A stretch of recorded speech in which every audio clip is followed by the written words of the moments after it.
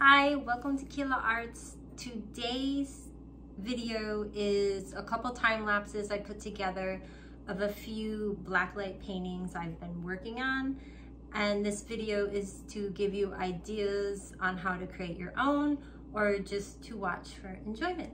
Uh, make sure you subscribe to my channel, like, and comment below with any paintings you would like to see me create. Thank you.